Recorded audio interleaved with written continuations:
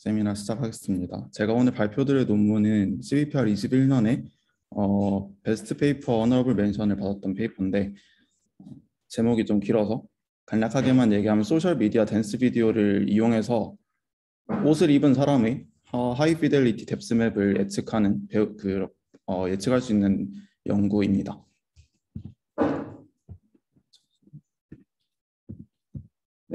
아까 말씀드렸다시피 어, CVPR 21년 oral이자 best paper honorable mention paper고요. 어, 저기 박현수 교수님께서 지, 그 이제 지도하신 논문입니다. 그래서 간단하게만 얘기를 드리면 사실 여기서 얘기하는 건 single RGB 이미지가 하나 들어갔을 때 사람이 춤추고 있는 single RGB 이미지가 하나가 있을 때 그걸 이용해서 어 이제 depth map과 그 다음에 이런 depth map을 얻어낸 다음에 surface reconstruction 그리고 뭐 surface normal까지 estimation 할 수 있는 그런 학습 방법론에 대해서 정리한 논문입니다. 그래서 introduction 뭐부터 하고 그다음 네트워크 기본적으로 설명드리고 주된 contribution들을 두 가지로 좀 정리를 했는데 그렇게 소개를 드리고 이제 마무리를 하고자 합니다. 그래서 먼저 이 work의 objective는 목적은 일단 간단하게 말하면 사람이 옷을 입고 있는 사람의 3D geometry 어, 그리고 특히나 depth map을 배우는 방법에 대한 연구입니다. 그래서 이런 work을 이런 task를 하는 데 있어서 가장 큰 챌린지는 일단 사람의 옷을 입고 있는 사람의 3차원 스캔 데이터 그러니까 ground truth가 annotation이 있는 그런 데이터가 거의 없다라는 점인데요. 그래서 이런 챌린지를 어떻게 해결하고자 하였냐면 이 논문에서는 어, 요즘 가장 핫한 그런 소셜 미디어라고 볼 수 있죠. 틱톡에서 사람들이 댄스 비디오를 댄스 challenge가 있는데 거기서 댄스 challenge 데이터를 싹 다 crawling해서 그걸 이용하고 또 그런 비디오에서의 self-supervision을 이용하면 이런 어, label이 별로 없는 dataset을 잘 활용할 수 있을 것이다 라는 아이디어로 연구를 진행했습니다. 그래서 이게 왼쪽에 있는 영상이 이제 TikTok의 댄스 challenge 영상인데 이게 뭐 주별로 월별로 막 이렇게 계속 업데이트가 된다고 해요. 그래서 TikTok에서 다른 영상들 말고 그렇게 댄스 challenge 그런 태그로 올라온 게시물들 crawling해서 그걸 가지고 manual한 annotation을 좀 필요한 걸 만들고 이를 이용해서 나중에 결과적으로 test time에는 single RGB 이미지만 들어갔을 때 이렇게 오른쪽에 보이는 것처럼 depth map이나 surface normal이나 그런 surface reconstruction을 해내는 그런 방법을 제시했습니다. 근데 이런 댄스 비디오의 특징이 몇 가지가 있는데 일단 한 사람이 똑같은 identity의 사람이 계속 나오겠죠. 그리고 옷을 되게 다양하게 입고 있어요. 근데 TikTok에는 또 소셜 미디어다 보니까 사람들이 다양한 clothing을 하고 나오는데 그런 사람들이 이제 몇 초 동안 춤을 추는 다양한 또 되게 역동적인 포즈로 춤을 추는 영상 시퀀스이고요. 그리고 이 dataset 같은 경우에는 3D ground truth가 없죠. 그래서 기존에 사용하는 그냥 데이터를 많이 단순히 많이 넣어서 fully supervise 하는 방법으로는 적용되지 않습니다. 그래서 이걸 해내기 위해서 이제 가장 기본적으로 네트워크 구조는 이제 네트워크를 설계해서 이름을 HDNet이라고 붙였고 그리고 주로 결국 아웃풋은 depth map이 될 거기 때문에 human depth neural network라고 부릅니다. 어, human depth neural network 같은 경우에는 이미지와 그 다음에 사람의 로컬 지오메트리인 UV 코디네이트 그걸 이용해서 어떤 사람이 되게 fine한 fine 디테일이 살아있는 그런 depth map을 예측하는 것을 목적으로 합니다. 그래서 왼쪽에 결국에 보면 인풋으로 RGB 이미지 하나가 들어간다 했는데 음, RGB 이미지로부터 어, 사람의 foreground mask 그 다음에 RGB 이미지에 해당하는 어, DensePose 같은 걸로 얻을 수 있는 UV coordinate를 이제 인풋으로 사실 사용을 합니다. 근데 뭐 이거 같은 경우에는 이, 이 네트워크 학습하는 네트워크에서 처리해주는 부분이 아니라 이제 test time에 따로 얻어올 수 있다라는 가정을 가지고 있기 때문에 그냥 single image reconstruction이라고 봐도 될 것 같고요. 어, 그래서 이렇게 normal estimator, depth estimator 이런 중간에 이제 stacked hourglass 모델입니다. 이거는 뭐 보통 human pose나 아니면 depth map estimation의 어, resolution을 계속 유지시키기 위해서 많이 사용되는 방법이죠. 이런 stacked hourglass hourglass 네트워크가 그런 local한 디테일이나 아니면 글로벌한 context를 좀 잡아내는데 어, 효과가 있다는 게 이전 많은 연구들에서 보여졌기 때문에 이런 구조를 사용했다고 합니다.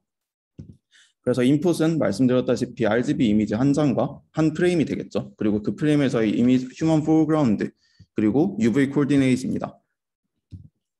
그리고 아웃풋은 이제 총 이 네트워크를 통과하면 두 가지가 나오게 되는데 이제 네트워크가 안에 두 가지로 구성이 되어 있습니다. normal estimator와 depth estimator로 구성이 되어 있습니다.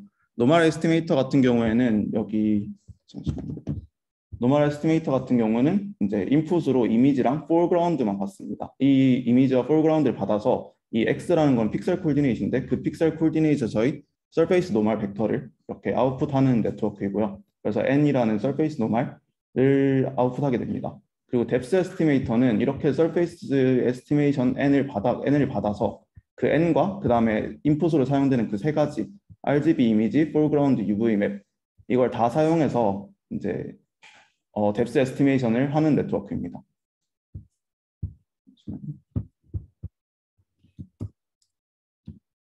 어, 그리고 이제 여기서 주된 방법으로 사용하는 self-supervision에 대해서 얘기를 좀 드리고자 합니다.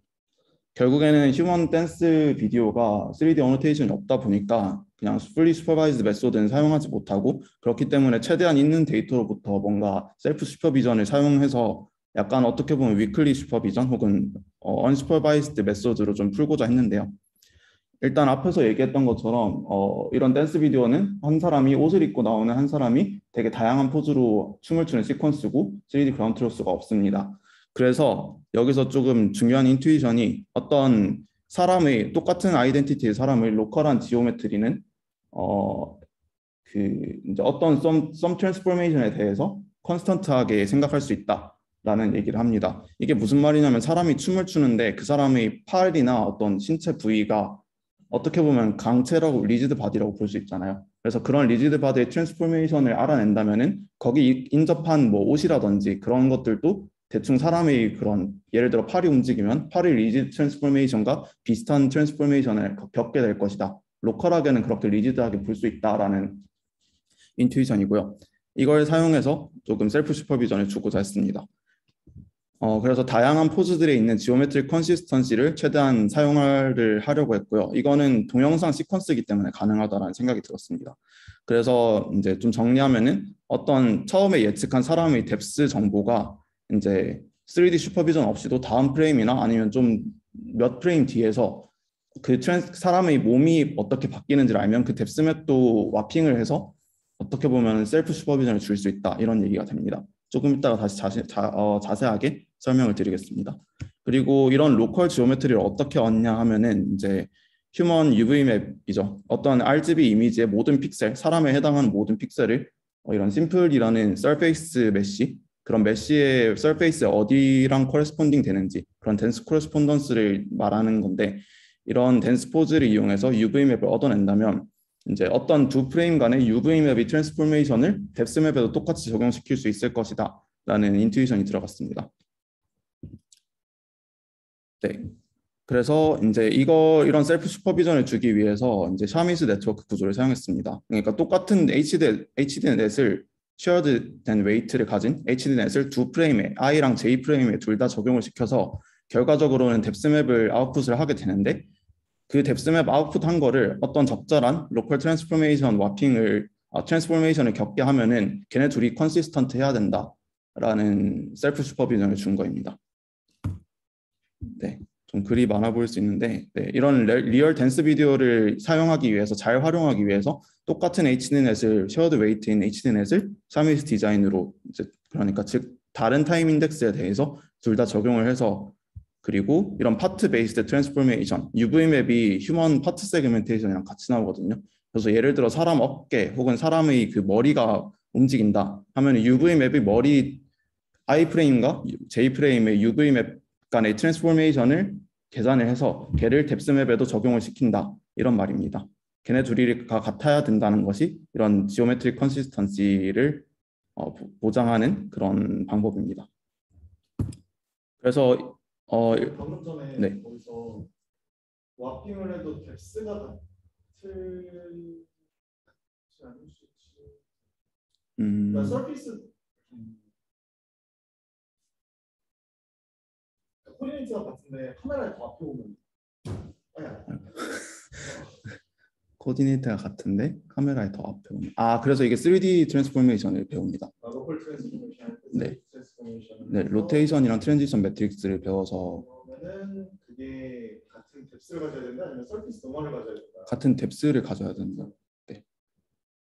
아 사실 이제 같은 depth라고 얘기하지만 이걸 surface reconstruction 했을 때 그 3D point가 같아야 된다라는 loss를 걸어줍니다.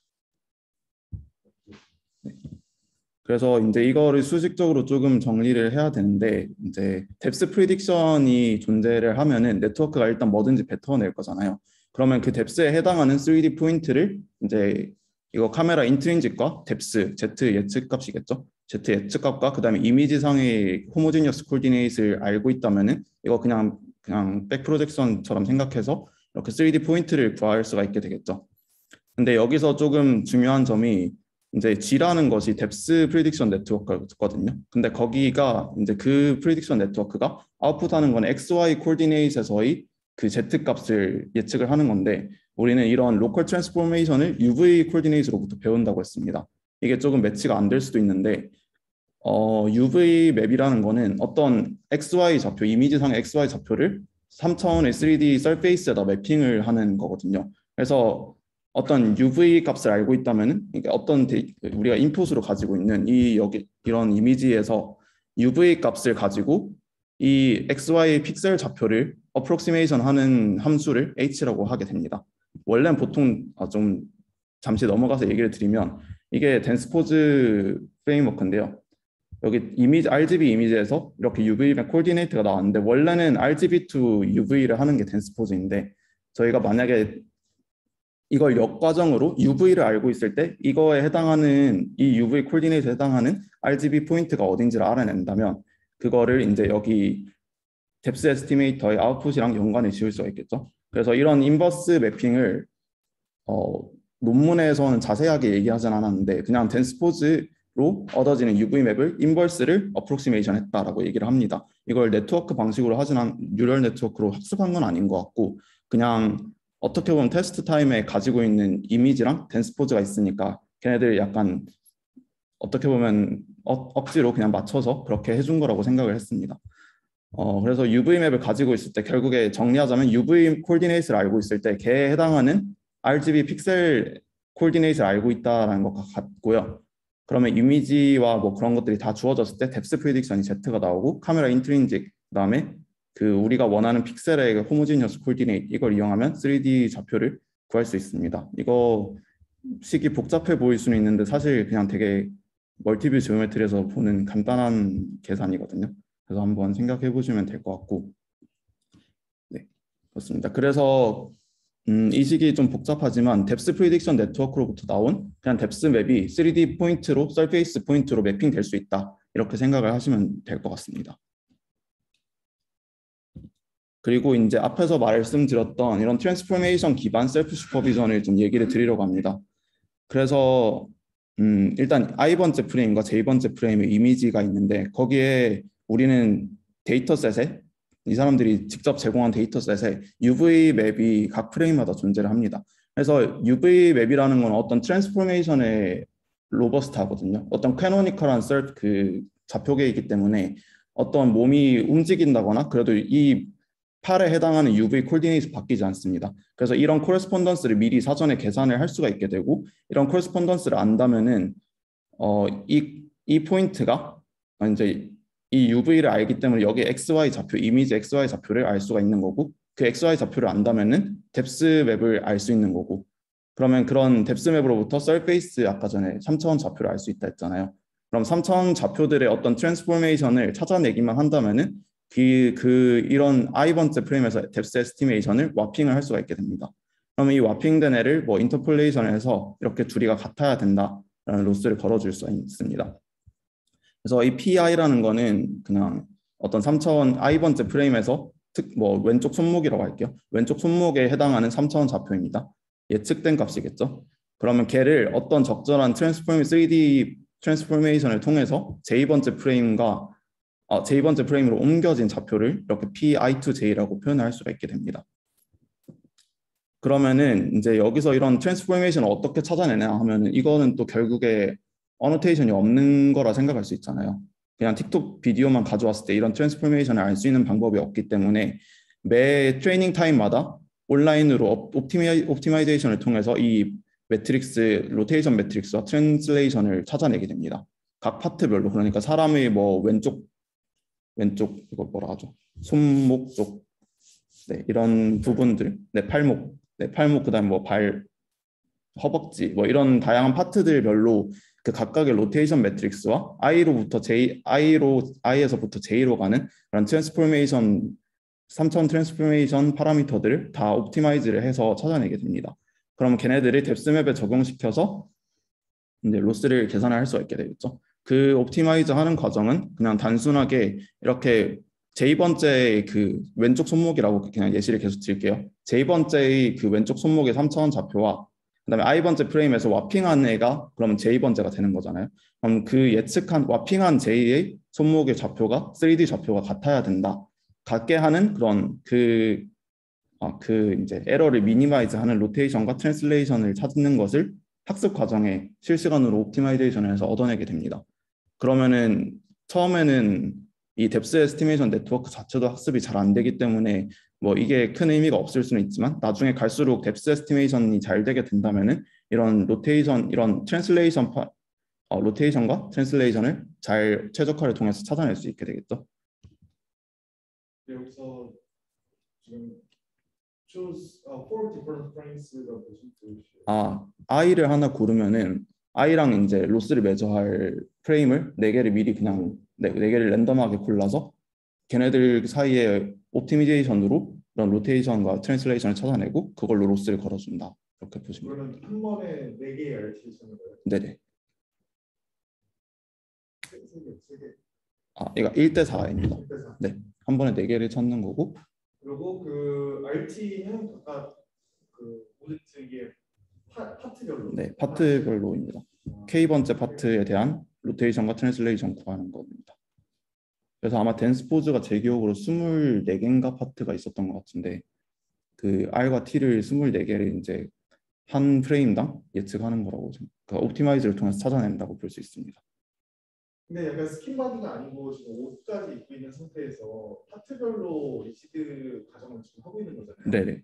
그러면은 어, 여기서 조금 옷 같은 게 하늘하늘 거리고 그런 residual 부분은 모델링이 안 되는 거죠.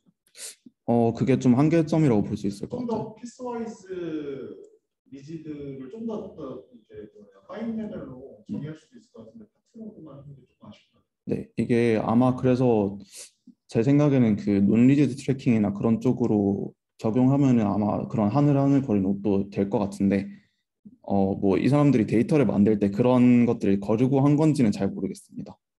그런 clothing을 좀 특별하게 select해서 한 건지는 잘 모르겠는데 그러니까 optical flow하고 약간 pixel-wise correspondence하고 네네 이제 global-wise correspondence잖아요 이 파트별로. 네. 그거 중간에 뭔가 trade point trade point가 되게 좋은 포인트가 있을 것 같은데 음, 뭐 clustering 요즘에도 clustering 쓰는 거죠. 음, 팔목을 여기만 이렇게 딱 띄어서 얘에 대해서 RT가 따로 따로. 음. 아, 그렇게 하면 좀더 모델링이 잘 될 것 같은데 음. 그렇게 보면 안 네. 네, 아까 전 교수님께서 말씀해 주셨던 것처럼 이게 나중에 discussion 부분에 얘기를 드릴 건데 사실 optical flow나 아니면 비디오 다른 비디오 응용에도 기본적으로 좀 자주 쓰이던 패턴이라고 생각이 좀 들어요. 그래서 나중에 그거는 한번 다시 짚고 넘어가도록 하겠습니다. 그래서 I번째와 J번째 프레임에서의 3차원 그냥 transformation을 optimization, optimization을 통해서 찾아내서 걔를 depth map에도 적용시키겠다라는 말입니다. 그럼 depth map이 그렇게 warping 됐을 때 둘이가 같아야 된다. 그런 loss를 걸어주는 겁니다. 네, 이게 방금 했던 거를 좀 정리를 한 거고요. 그래서 depth super sel- depth에 대한 self supervision은 이렇게 줄 수 있습니다. 그냥 앞에 뭐 시- sum이 많이 붙긴 하는데 그냥 IJ 프레임에 대해서 전체 비디오에서 IJ를 적당히 고르고 그냥 각 파트별에 대해서 correspondence가 있는 UV coordinate 골라서 걔네들끼리 depth가 같아야 된다. warping했을 때 depth가 같아야 된다. 그거를 그냥 L2 놈으로 걸어준 L2 loss로 걸어준 loss입니다. L은 reference 프레임이네. 아 L은 그 제 기억으로는 그 어, 아 한 그 전체 데이터셋에서 한 비디오 시퀀스를 말합니다. 그래서 거기서 IJ 프레임을 가져와서 그다음에 코레스폰던스가 있는 UV만 가져와서 걔네들을 각 파트별로 계산한다 이런 뜻입니다.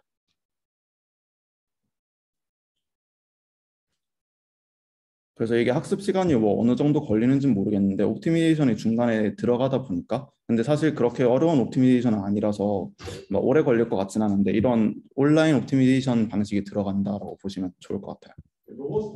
그 outlier 같은 것도 되게 많을 거 아니에요. 네네. 지금 저 SE3 그룹 manifold 상에서 optimization 하는 게 되게 local minima도 많고 어려울 것 같은데 음, 쉽지만 않을 것 같은데.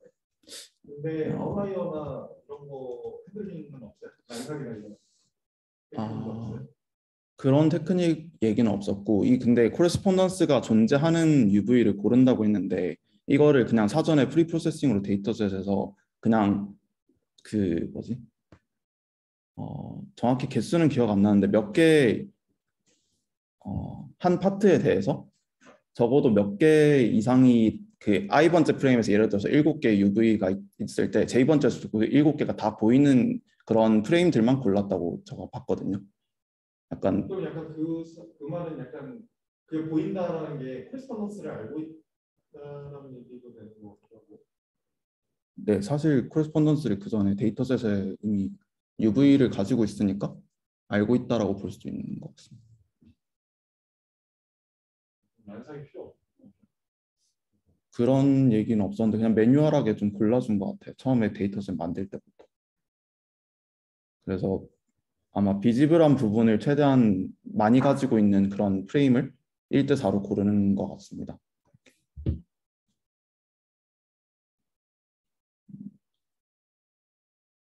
아 그리고 그 다음에 코레스폰던스의 이제 이런 이런 걸 고를 때 최대한 그 각 파트 예를 들어 이 팔목이라고 한다면 얘의 전반적인 무브먼트를 다 표현할 수 있는 그런 UV 콜디네이트를 미리 좀 골라놨다고 들었거든요.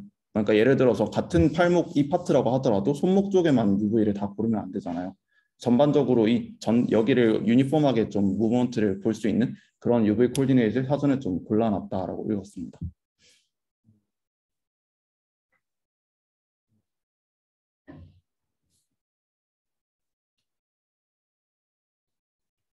그리고 사실 그리고 이거 warping해서 바로 measure하는 게 아니라 이걸 또 바이리니어 인터폴레이션에서 얘네들 사이에 loss를 재는 거다 보니까 여기서 조금 성능 저하나 그런 게 있을 수도 있지 않을까 생각은 좀 들었습니다. 이거 gradient backpropagation 할 때 저 bilinear bilinear interpolation 한 쪽으로는 gradient를 detach 한다든지 음.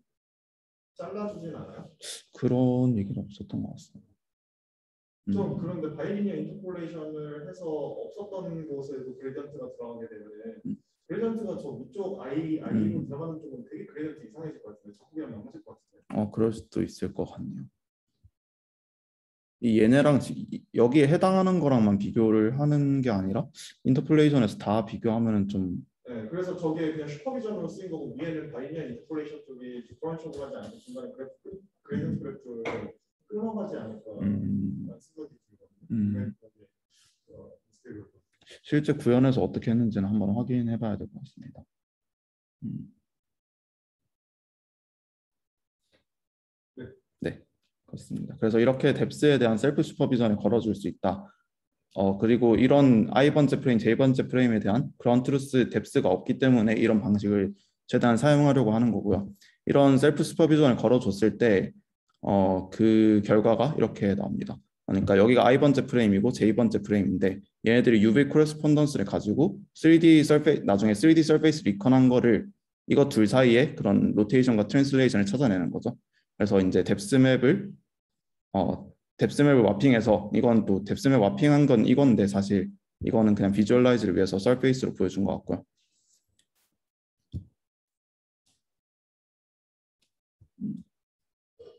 그래서 보면은 팔이 앞으로 나온다던가 할 때 이게 조금 더 진해지는 것들 이런 양상이 좀 비슷한 걸 볼 수 있습니다. 아, 이게 색이 진할수록 가- 가까이 카메라에 가까이 있다는 걸 나- 나타내고 있습니다. 그리고 조금 더 다른 supervision을 줄 수 없을까 해서 이제 surface normal과 depth를 어 이제 서로 아, 조, joint learning하는 기법을 좀 도입을 했는데요. 사실 아까 전에 네트워크 구조에서 굳이 normal estimator가 앞에 들어있을 이유가 뭔가에 대해서 좀 궁금할 수가 있어요. 그냥 바로 depth를 예측하는 것도 가능할 건데 왜 normal을 앞에 껴넣어서 normal estimation 된 애를 다시 depth estimator에 input으로 주는가?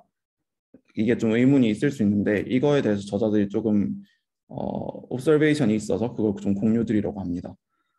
어, 네, 보통은 그냥 ground truth depth 정보를 가지고 있을 때 depth estimator를 바로 fully supervise해서 학습을 하게 되는데 그 이렇게 할 때는 이제 dressed human이라는 문제 task의 scope상 limitation이 두 가지가 존재할 수가 있게 됩니다. 뭐 하나는 당연하게 그냥 ground truth 데이터가 별로 없다는 limitation이 있을 수 있고요. 그다음에 두 번째는 좀 중요한 intuition이라고 저는 생각이 들었습니다.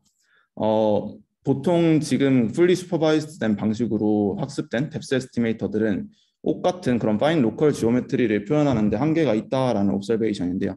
이거를 좀 보여주기 위해서 저자들이 어떤 자료를 좀 들고 왔냐면 이게 픽셀 A에서 픽셀 B로 가는 방향을 생각을 한 거예요. 이걸 가로로 생각하면 그렇게 픽셀이 이동했을 때 depth map과 아, depth estimation과 normal estimation 아 normal 뭐 이거 estimation인지 ground truth인지는 잘 모르겠는데 아마 estimation 같습니다. 자기들 최종 모델인 것 같아요. 어쨌든 걔네들의 똑같은 좌표에서 그 intensity를 좀 비교를 해봤을 때 depth 같은 경우는 그냥 어, 이 픽셀의 값이 이 wrinkle이라는 게 옷이 약간 접혀가지고 줄무늬처럼 나타나는 그런 거거든요. 거기서 픽셀 intensity는 확 떨어지거나 뭐 이렇게 좀 변형이 있는데 depth 같은 경우는 그냥 이렇게 이런 wrinkle 같은 걸 반영하지 못하고 계속 어떻게 보면 카메라에서 멀어지는 방향인 거잖아요. local하게는 이렇게 디테일이 있지만 그거를 depth estimation만 그냥 했을 때는 이걸 찾아내지 못하는 한계점이 좀 존재를 해서 이거를 조금 보완을 하고자 surface normal을 도입했다고 합니다. surface normal 같은 경우는 뭐 정확하게 이런 경향이 드러나진 않지만 이런 wrinkle이 있는 부분에서 조금 더 픽셀 intensity랑 surface normal이 조금 비슷한 경향을 보이기 때문에 이런 것들을 반영을 하면 depth가 조금 depth estimation이 조금 더 디테일해지지 않을까 이런 intuition이 있었다고 합니다. 아, 네, 이거 밑에는 그냥 3D dataset이 별로 없기 때문에 어, 이런 direct하게 depth를 예측하는 방법은 별로 효과적이지 못했다라는 얘기를 하고 있고요. 옆에 히스토그램 데이, 어, 그래프 같은 경우에는 이 왼쪽에 회색 데이터들이 scene dataset입니다. 뭐 KITTI나 ScanNet, 뭐 SceneNet 이런 것들이 있는데 이런 dataset들이 스케일을 비교해 봤을 때 human에 관련된 3D 스캔 데이터는 거의 그 instance 수가 100만 도 안 되거든요. 근데 scene에 대한 건 엄청나게 많기 때문에 여기 씬 같은 depth estimation 방식에서 사용한 그런 구조를 정확히 사용할 수는 없, 사용하기에는 데이터가 현저히 부족한 그런 limitation이 존재합니다. 네, 그래서 정리하면은 surface normal이 이런 픽셀 intensity랑 좀 큰 연관성이 있기 때문에 이런 fine detail, 옷의 wrinkle 같은 fine detail을 살리기 위해서는 surface normal을 한번 예측하고 걔를 depth에 약간 condition을 걸어줘서 하게 하면 조금 더 잘하지 않을까 이런 intuition이 있었다고 합니다. 그래서 surface normal 같은 경우에는 이 HDNet에서 좀 총 두 가지로 예측이 가능한데요. 첫 번째는 이제 아까 네트워크에서 봤을 때 normal estimator가 바로 있었죠. 그래서 stacked hourglass를 통해서 그냥 픽셀 위치에 해당하는 surface normal을 바로 예측하는 방식입니다. input으로는 이미지랑 foreground mask가 들어가고요. 이렇게 했을 때 나오는 게 하나가 있고 두 번째는 depth estimation으로부터 어 이제 geometric하게 얻어낼 수 있는 그런 normal입니다. 일단 이거 네트워크로 얻어낸 걸 그냥 n이라고 하고 depth estimation으로 얻어낸 노말 서페이스 노말을 n 해시라고 할게요. 이게 어떤 지금 px라는 게 아까 전에 3차원 좌표를 말하거든요. 3차원 surface라고 생각할 수 있는데 어, 이거 미분 아 미적분학에서 저도 오랜만에 봐서 기억이 안 날 뻔했는데 좀 보니까 미적분학에서 어떤 surface 3차원 surface가 그냥 2차원의 어떤 xy coordinate 이런 걸로 parametrize가 된다면 즉 우리가 xy coordinate 알고 있을 때 depth 썰 depth를 이용해서 3차원 surface를 구했잖아요. 그러니까 3차원 surface가 2차원의 그런 parametrize 되어 있으면은 걔네들의 그냥 partial derivative의 cross product로 이렇게 normal을 계산해낼 수 있고 걔를 그냥 unit surface normal 가정을 하기 위해서 이걸 그냥 normalize 해준 모습입니다. 그래서 그냥 어떤 3차원 포인트 px에서 그냥 그 뭐라죠 그 접 접하는 표면, 접하는 표면에 그냥 그 수직한 그런 벡터라고 생각하시면 되고 unit surface normal입니다. 그래서 어, 이게 좀 구조가 그럼 생각해 보면 이미지로부터 노말을 에스티메이션하고 에스티메이션한 노말을 가지고 depth를 또 estimation하고 depth로부터 다시 어, geometric하게 surface normal을 얻어낼 수 있는데 그럼 이 어, 이렇게 얻어낸 두 개의 normal 간의 consistence가 있어야 된다라는 거를 supervision으로 주게 됩니다. 이런 supervision 같은 경우는 이거 식 보면은 그냥 단순히 두 벡터의 두 벡터가 이루는 각도를 얘기하는 거거든요. 그냥 내적식 생각하면은 이 두 개가 평행해야 된다. 이런 geometric하게 consistent 해야 된다라는 loss를 걸어준 겁니다. 이게 생각해 보면 normal estimator가 충분히 학습되지 않았을 때 depth estimator 학습이 망할 수가 있는데 그거를 어떻게 보면 조금 막아주는 역할을 한다고 저는 생각을 했었습니다. 그래서 논문에 존재하는 self supervision은 크게 이렇게 앞에서 봤던 depth supervision이랑 그다음 surface normal에 대한 consistency 이렇게 존재하게 됩니다. 이제 dataset에 surface normal이나 depth에 대한 ground truth가 없는 걸 생각해 보면은 이런 loss가 생각보다 효과적일 수 있겠다라는 생각이 좀 드는 것 같아요. 그리고 좀 추가적으로 몇 가지 loss들이 더 있는데 이거는 어떻게 보면 supervised loss이기 때문에 저자들이 별로 강조를 안 한 모습입니다. supervised loss라는 거는 앞에서 봤던 normal estimator나 depth estimator를 진짜로 이런 그 self supervision만 가지고 학습하기에는 좀 부담이 있으니까 그냥 활용할 수 있는 몇 개 안 되지만 활용할 수 있는 3D 스캔 데이터를 최대한 supervision으로 주겠다 그런 말이거든요.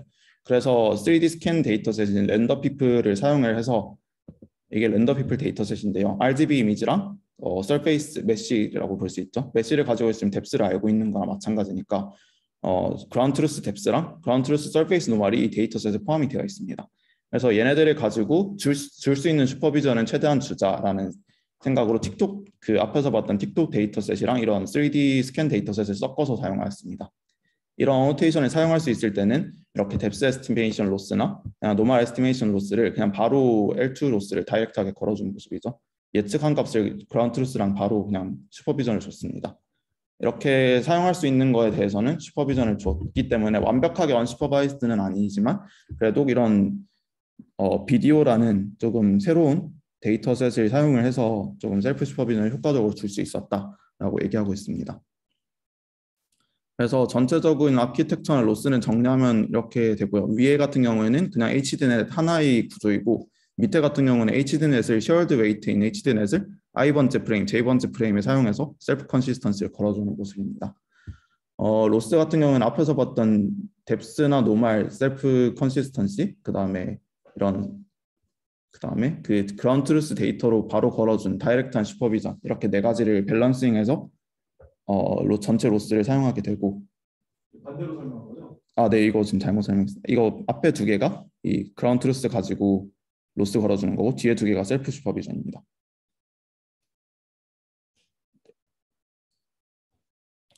그리고 dataset과 실험 부분을 좀 얘기 드리자면 저자들은 이제 이런 TikTok dataset의 annotation이 필요한 annotation이 이제 depth나 surface normal을 얻지 못하니까 얘네들이 네트워크 input인 이 RGB 이미지랑 그다음에 segmentation mask, 그다음에 UV 이런 것들을 최대한 긁어 모아서 dataset을 만들고 공개를 했습니다. TikTok dataset이라고 하는데요. 총 300개보다 조금 더 많은 한 비디오당 10에서 15초 정도 되는 그런 비디오를 300개보다 그 조금 더 많이 긁어 모아서 총 프레임 개수로 보면은 100 얼마죠 이거? 100, 10만 개 이상의 이미지를 긁어 모았습니다. 그래서 이렇게 리무브 백그라운드라는 그냥 웹사이트 서비스가 있는데 이걸로 human foreground mask 얻어내고 DensePose 이미 잘 나와 있는 걔를 가지고 UV coordinate를 계산해서 이렇게 세 가지를 pair해서 하나의 dataset으로 만들었고요. 이런 이미지가 총 10만 개 조금 넘어가고 있다고 합니다. UV 코디네이트 정확하지 않을 것 같은 댄스포즈 네, 그래서 그 GitHub 이슈에도 누군가가 그냥 UV 댄스포즈 중에서도 그 뭐 백본 뭐 쓰고 했는지에 따라서 성능이 좀 차이가 나는데 그 중에서 가장 좋은 거 썼을 때랑 가장 안 좋은 거 썼을 때 성능 차이가 꽤 심한 것 같더라고요. 그래서 그냥 저자가 답변해 놓은 거 보니까 UV 잘 얻을 수 있으면 얻을 수 있는 만큼 성능이 좋아질 거다. 뭐 그냥 이렇게 얘기를 했습니다. UV에 initial을 주고 그 initial이 틀렸을 거다라는 걸 가정하고 옆, 옆에 프레임들을 고려를 해서 그 UV coordinate를 refinement도 같이 하게끔 보정할 수 있으면. 같다는 생각이 들어요. 결국엔 그게 그러면 optical flow 문제가 네. 사실 그래서 이거 보고 생각했을 때 DensePose도 사실 temporal consistent하게 하는 DensePose가 별로 지금 없잖아요. 근데 그냥 optical flow만 껴서 넣어도 약간 unsupervised로 좀 괜찮게 할 수 있을 것 같다라는 생각도 좀 드는데 있고 네네 그렇게 되는 거고 네, 그래서 이런 dataset을 만들어서 공개를 한 것도 뭐 contribution의 하나라고 이렇게 얘기를 하고 있습니다. 이 dataset 조만간 못 다운받을 수도 있어요. 아, 제가 다운받아 놨습니다. 네, 그래서 서버에 넣어놨습니다. 이 개인 정보 때문에 요즘에 그 이런 dataset이 보통 중간에 사라지는 경우가 꽤 많아서 아, 그리고 이거 긁어 모으는데 좀 중요했던 게 뭐 댄스 타입 같은 것도 좀 신경 써서 골랐다. 이거 어떻게 했는지는 얘기 안 했는데 어, 댄스 타입 같은 것도 신경 써서 골랐고 그다음에 motion blur가 없는 크게 없는 것들 좀 선정을 했다고 해요. 근데 그런 파이프라인은 딱히 얘기가 없었던 것 같습니다. 댄스 타입 같은 거 아마 그 아, 태그 같은 거. 있어요. 근데 이게 그 데이터셋에서 바, 그 joint part라든지 어떤 그 body part에 어, occurrence 등장하는 네. 그러니까 왜냐면 field of가 제한돼 있잖아. 카메라의 view에 그러면 거기에 등장 안 주로 등장 안 하는 부분은 뭐 팔 쪽 끝이라든지 아니면 다리 쪽 끝일 텐데 걔네들의 빈도수 등장하는 빈도수가 적으면 적을수록 데이터가 걔네들한테는 더 적고 이게 몸통 쪽은 더 많고 네. 얼굴 쪽은 많을 거고 약간 그런 빈도 차이가 있을 것 같아요. 그런 걸 compensation 하는 부분이 없었어요. 그 이거 어- dataset 구성에 대한 내용은 아예 빠져 있었습니다. 왜냐면 그거 자체를 또 compensation 좀 해줘야 몇 번 못 보는데 그래도 더 중요하게 생각해라 이런 거 줄 수가 있고 그래서 다리 쪽의 quality나 팔 쪽의 quality가 손 이런 데 quality가 그 얼굴이나 body part 중간 부분보다 더 안 좋지 않을까? 음, 하는 생각이 드는데 결과 어떤 점 봐야겠다. 네. 근데 확실히 다리가 등장하는 빈도는 훨씬 적었던 것 같아요. 제가 그냥 예시 몇 개 봤을 때도. 네. 그래서 이제 수치적인 성능이랑 좀 qualitative한 걸 좀 보여드리고자 하는데 수치적인 거는 뭐 언제나 그랬듯이 제일 좋다라는 얘기를 하고 있고요. 근데 여기서 저는 그냥 다른 방법들이랑 비교하는 것도 있지만은 여기서 어 비교하는 baseline이 그 Mannequin Challenge Li et al. 이게 Mannequin Challenge 그건데요 논문이고 Tang et al.도 뭐 그냥 single image 알- 그 depth estimation이고 PIFu랑 PIFuHD 같은 경우는 implicit으로 어, 사람의 mesh를 그냥 전체적으로 복원하는 그런 연구였는데 거기서도 어떻게 보면 depth나 surface normal을 얻어낼 수 있다 보니까 이렇게 비교를 한 모습이고요. 다 mean plus minus standard deviation 이렇게 표현을 했습니다. depth error 같은 경우에는 이제 뭐 depth를 그냥 예측한 것과 실제 그 데이터셋에서 존재하는 그런 depth의 에러를 계산했고 normal도 그냥 단순하게 normal끼리의 차이를 계산했고 리컨스트럭션도 3D 포인트 뎁스를 알, 알고 있으면은 리컨스트럭션 3D 서페이스 리컨스트럭션을 할 수 있기 때문에 걔네들에 대한 에러를 이렇게 measure를 했습니다. 그래서 두 가지 측면으로 보는데 다른 baseline들, 다른 논문들이랑 비교한 게 있고 그다음에 자기들 내부에서 이런 self supervision이 얼마나 효과가 있었냐를 비교하는 결과가 있었는데 전 두 번째 게 조금 어, 볼게 조금 더 있었다고 생각이 합니다. 이게 밑에가 ablation인데요. LZ라는 게 그냥 단순히 그냥 ground truth depth를 주고 3D scan data 써서 그냥 그거, 그걸로만 학습한 겁니다. 그리고 LS 같은 경우에는 surface normal에 대한 supervision, self supervision이거든요. 아까 전에 surface normal을 얻는 방법이 두 가지가 있다 했는데 네트워크가 예측한 것과 그다음에 depth estimation으로부터 얻어내는 게 같아야 된다. 그런 loss를 걸어준 건데 이 두 가지를 이- 적어도 얘만 추가해줬어도 되게 에러, 에러 가 많이 줄어드는 것을 보여줄 수 있었다고 합니다. 그리고 depth self supervision 같은 경우는 Siamese network로 이제 제 I번째 프레임, J번째 프레임에 대한 consistency를 보장하는 loss인데 걔에 대한 contribution은 생각보다 크지 depth에 대한 contribution이 그렇게 크지 않다라는 생각이 좀 드는 것 같아요. 왜냐면은 이 depth error만 봤을 때 surface normal에 대한 loss를 추가해줬을 때는 한 0.2 정도로 되게 많이 줄었는데 이 depth self supervision을 넣었을 때는 또 그만큼 드라마틱하게 줄어들진 않는 것 같은데 어떻게 보면 depth estimation을 네트워크에서 먼저 surface normal estimation 하고 그다음에 depth를 추정하다 보니까 이 surface normal에 대한 consistency가 조금 더 중요하게 작용하지 않았나라는 생각이 좀 듭니다.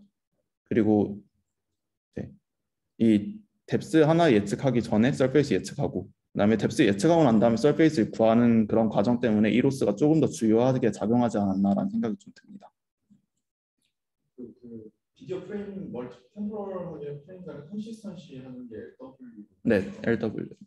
저기 저기 아까 얘기했듯이 어, 파트 음. 단위로 되게 크게 어, rigi, rigidity를 이제 가정을 하고 있는 게 어썸션이 되게 큰데 음, 그래서 에러도 되게 클 텐데 그럼에도 불구하고 depth하고 아. 아. 에러가 줄어들었다는 게 더 surprise. 아, 아 그렇게 볼 수도 있겠네요.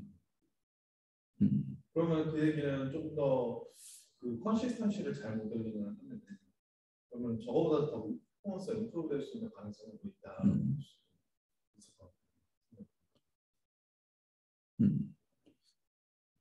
그, 네, 그래서 이거 보면서 계속 든 생각인데 뭔가 아마 제가 Mannequin Challenge 그걸 자세하게 막 읽어보거나 그러진 않았지만 거기서는 optical flow를 좀 사용한 걸로 알고 있는데 여기서 약간 조금 더 human local geometry를 담고 있는 UV를 좀 사용을 하면서 UV도 사실 SMPL이라는 어떻게 보면 skinned model의 surface에다가 mapping을 한 거라서 기본적으로 그냥 디테일을 표현하는데 한계가 있다라고 저는 생각이 들거든요. 그래서 교수님 말씀대로 그냥 옷, 옷의 움직임이 사람의 body part의 움직임과 이렇게 어떻게 보면 rigid하게 같이 움직인다라는 가정 자체가 조금 되게 큰 가정이라서 이게 조금 개선의 여지는 있을 거라고 생각이 좀 듭니다. 네.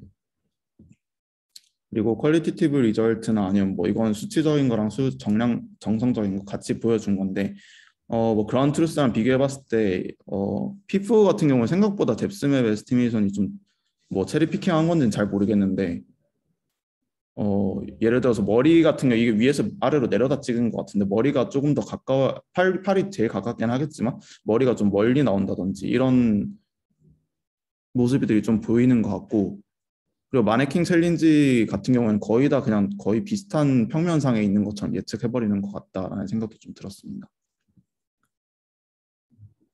어, 근데 ground truth가 되게 별로네요. 음, 이게 dataset이 옛날 dataset인 것 같아요. 이게 RenderPeople dataset인데 얘는 좀 ground truth가 괜찮은 것 같고 근데 얘 같은 경우는 PIFu랑 PIFuHD가 둘 다 조금 다 그냥 평면처럼 나오는 것 같습니다. 그리고 마네킹 challenge도 얼굴을 너무 가깝게 잡은 거 아닌가 이런 생각도 좀 들고 그래서 어떻게 보면 그냥 fully supervised로 하지 않았는데 어, self supervision을 사용해서 음, 꽤 괜찮은 quality를 보여준 것 같다라는 생각이 좀 듭니다. 그리고 어, 뭐 비교할 때 뭐 예를 들어 D-NeRF라든지 그때 self Nerfies 같은 그런 human specific한 것들이랑은 비교를 안 한 것 같긴 합니다. 걔네들은 어떻게 보면 overfitting이기 때문에 비교하기가 좀 힘들었을 것 같다는 생각도 좀 들고 그리고 qualitative result를 좀 보여드리겠습니다. 이게 그래서 input image랑 이제 예측한 depth 그다음에 이 normal estimation 같은 경우는 어, normal estimator로부터 나온 normal을 보여주는 게 아니라 depth로부터 유도된 normal을 그냥 geometric하게 유도된 surface normal을 보여주는 거라고 하더라고요. 음, 그게 좀 더 좋았는지 왜 뭔가 normal estimator는 단순히 보조 역할로만 쓰려고 하는 것 같다라는 생각이 들었습니다. 그리고 side view에서 rendering된 surface도 볼 수 있었습니다. 그리고 이 qualitative한 거를 ablation 하는 게 좀 재밌었는데 아, 사, 사, 사진이 좀 작나요?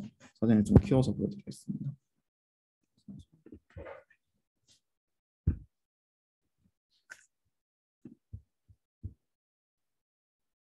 네, 이게 밑에 왼쪽에 있는 게 loss를 다 사용한 거고요. 이런 self supervision이랑 depth에 대한 아, 이 depth에 대한 self supervision을 사용했을 때 퀄, qualitative result고 그거 없을 때 qualitative result인데 없을 때 보면은 이게 앞에서 보면은 괜찮게 보일 수도 있는데 side로 보면은 이게 사람의 형체가 아니게 되겠죠. 이런 depth supervision이 이렇게 self supervision을 넣어뒀을 때 qualitative하게는 수치적으로는 뭐 조그맣게 안 줄어들 수도 있고 사실 줄어든 게 좀 더 좋은 걸 수도 있긴 하지만 이 qualitative하게는 되게 큰 영향이 있었다 그런 얘기를 하고 있습니다. 그리고 네.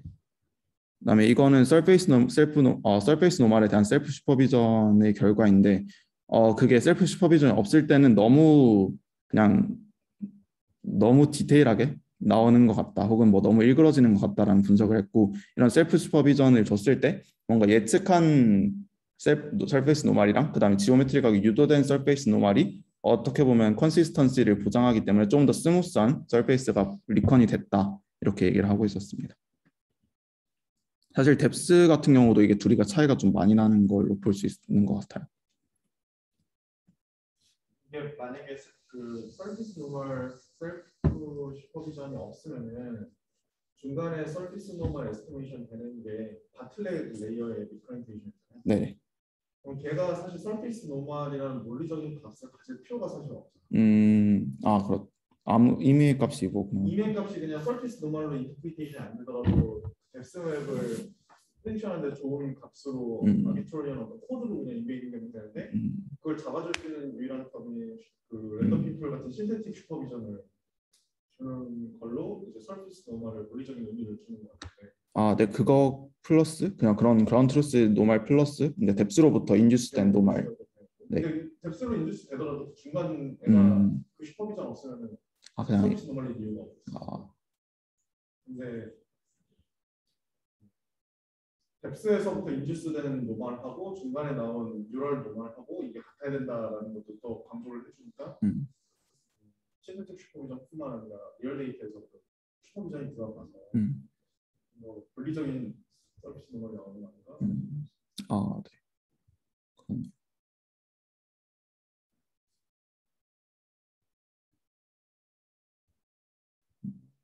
왼쪽에 지금 보여주고 있는 건 뭐예요? 어, 왼쪽에 normal.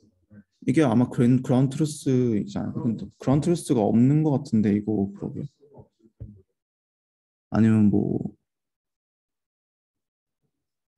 그러게요. 이거 뭘까요? 같아요. 어, 어떤 거? 아 왼쪽이. 둘이가 같은 건 아닌가? 어, 얘는 잘 모르겠습니다.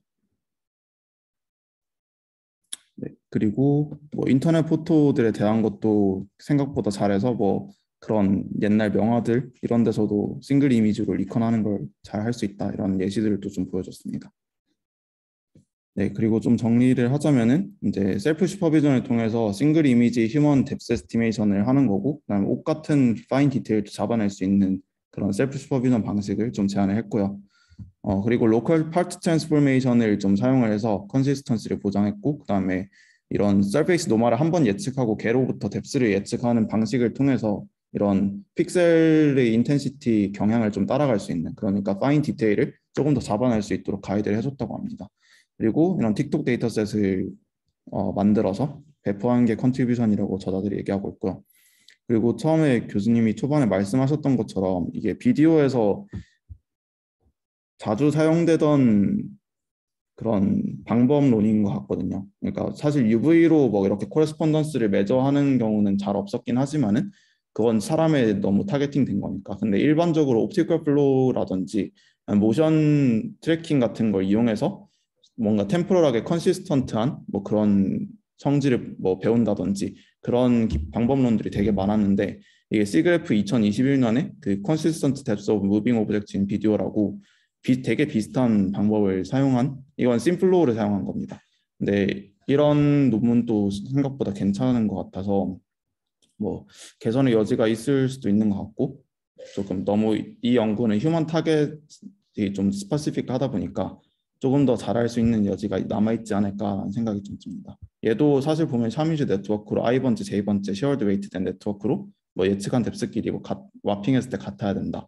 뭐 이런 걸 주거든요. 근데 이 노- 제가 오늘 발표한 논문에서는 이런 warping하는 transformation을 UV로부터 배웠지만 이런 거를 뭔가 scene flow로부터 배울 수도 있어서 이렇게 self supervision이 가능하다. 그리고 뭐 심플로우를 프로젝션에서 2D 옵티컬 플로우랑 또 뭐 self supervision이 가능하다. 이런 논문인데 이거 논문도 되게 잘 쓰여진 것 같아서 한번 보시면 좋을 것 같습니다.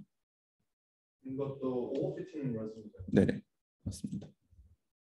이것도 그래서 time frame이랑 XYZ query가 줬을 때 scene flow 그냥 NeRF처럼 외워가지고 그렇게 예측하게 하는 방식입니다.